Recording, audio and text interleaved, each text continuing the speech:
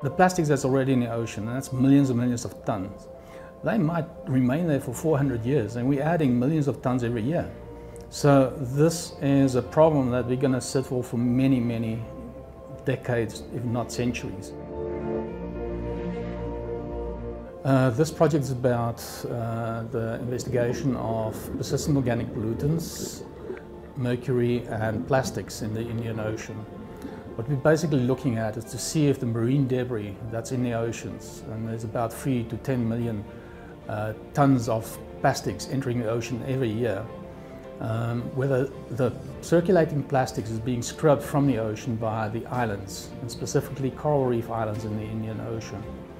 Now the persistent organic pollutants are picked up by the plastics as well as the mercury and then transported in concentrated form uh, on an oceanic scale.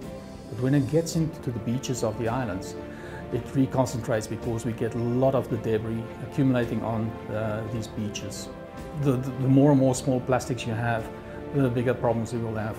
Because these plastics, big pieces break down in smaller and smaller pieces. So one piece becomes 10 pieces, 100 pieces, 1,000 pieces and it all adds up. Uh, small pieces of plastic also have persistent organic pollutants and mercury in them, and that can then be transferred to humans that eat them. So there's quite a concern about that.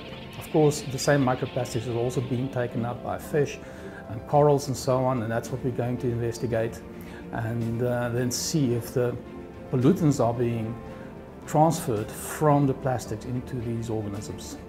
And we don't really know the, all the effects. Um, we have a number of reports out um, uh, regarding microplastics in the environment and the impacts on it, but much more work needs to be done, and that's part of the work that we're doing here at the moment.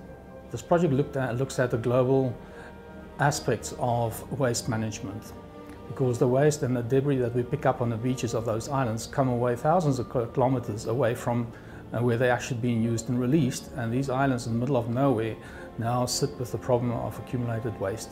And it might also affect the coral reefs, the coral reef ecosystems in that island, and we don't know.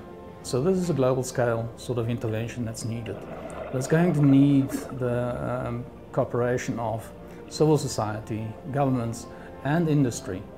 Uh, because a lot of the plastics are single-use plastics, they end up in the ocean. We've seen lots of the stuff on the, on the beaches. And um, if you don't do something about it on a big scale, then it's not going to have any impact on a local scale.